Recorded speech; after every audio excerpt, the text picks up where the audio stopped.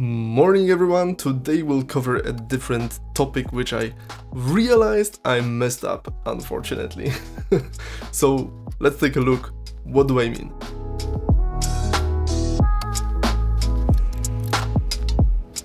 I was looking at my day 17 solution, I wrote a functional code with object-oriented principles in my head. And we can definitely do better. And I separated this solution to the main file, the day17 uh, module, but then most importantly to input, map and rocks modules. What I really want to target today is that rocks is referencing map module, which is certainly something I would like to remove. It's a bunch of coupling which is really not needed.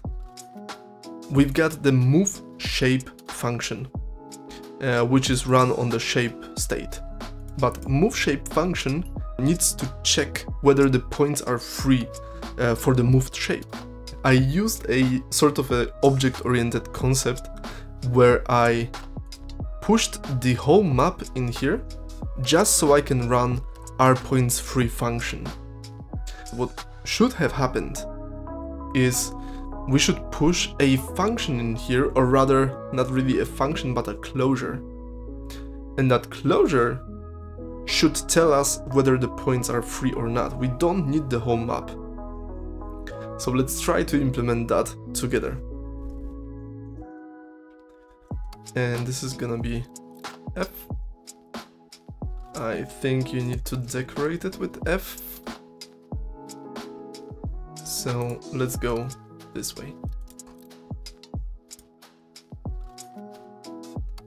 Yeah, and here we can add a where clause where the F and that would be hmm, actually you know what let's check out the R points free so R points free targets a map, but most importantly, it gets the shape of the rock. And once again, oh, it actually get current points. Okay, cool. So get current points returns the vector of points. Shape, or not really shape, it's the vector, right? Vector of points and it creates a boolean. Ah, here we go, okay. of course I had to forget something.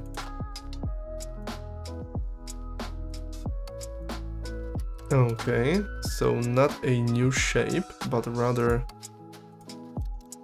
Okay, cool, so R points free and the new shape get current points. Beautiful that would be it. Now for the testing we need to adjust that. Whatever the input was, we just want to return true. Here the same as far as I understand. Rather than this, we could go let our points free be exactly that.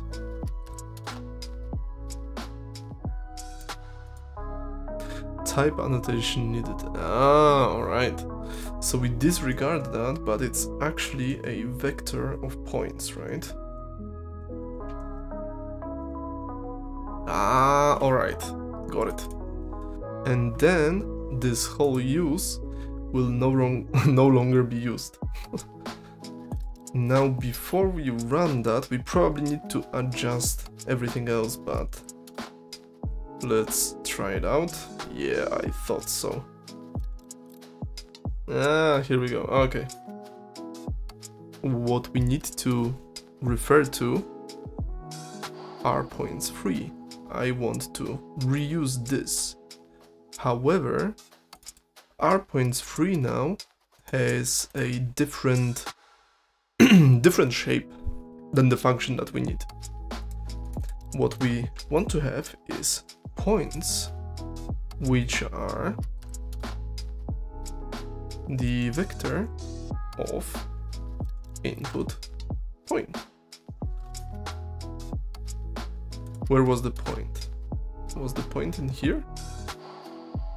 No, it was not. It was in the rocks. Okay, cool. It was in the rocks. So this is then removed. And then we go to points, not paints. We need to push the function itself. We don't want to push... Hmm... I mean, we could easily do it like this. We could do that, but I think this is this is not needed. I would like to pass along only this. Somehow I cannot. Okay, you know what? Let's let's close this thing down. So we want to be sure that uh, the tests will work. Okay, they do they did not. And what's what's in here? Basic shape operations. Ah, because now we want to return false. Okay, because we are running left and we cannot actually move left there. So now, can we change that?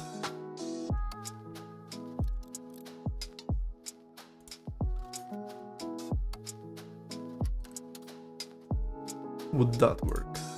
Apart from not used, yeah. Okay, so this would work then.